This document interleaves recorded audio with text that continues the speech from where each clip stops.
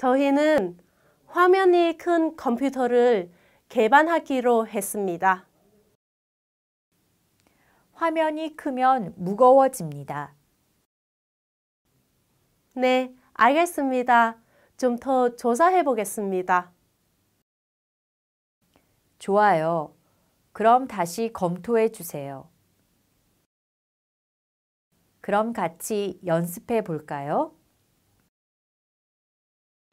저희는 화면이 작은 휴대전화를 개발하기로 했습니다.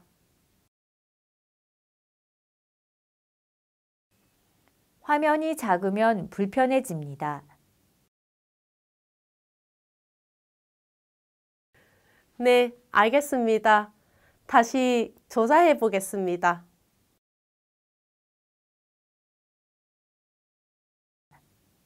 네, 그럼 수고해 주세요.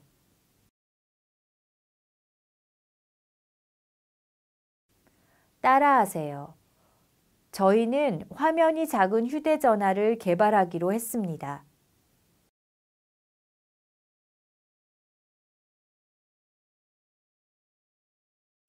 화면이 작으면 불편해집니다.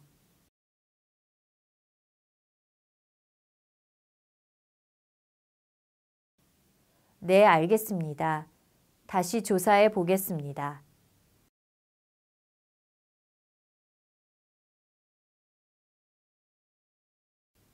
네, 그럼 수고해 주세요.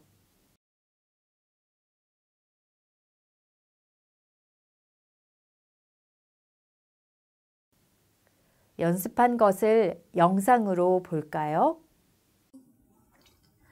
지금 모바일 팀 진행 상황 어떻게 되죠? 저희는 화면이 작은 휴대전화를 개발하기로 했습니다. 음, 화면이 작으면 불편해집니다.